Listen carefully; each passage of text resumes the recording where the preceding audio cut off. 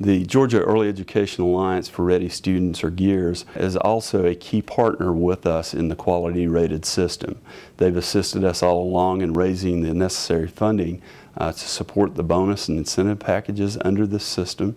Uh, they have also been a key partner with us in developing all of the multimedia ad campaigns that will be used uh, that will begin in the uh, spring and summer of 2013.